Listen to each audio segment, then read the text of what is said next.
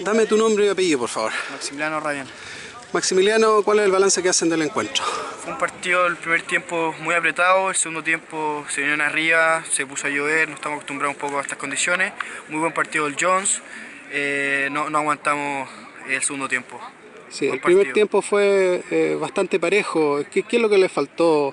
Eh, ¿Condición física? ¿Qué fue? No, no, no estamos bien de físico, el equipo está completo, eh, está completo de, de tenemos un par de bajas, pero nos faltó yo creo saber jugar en estas condiciones. Pero lo, lo supo aprovechado el Jones, un muy buen partido, muy buen Real.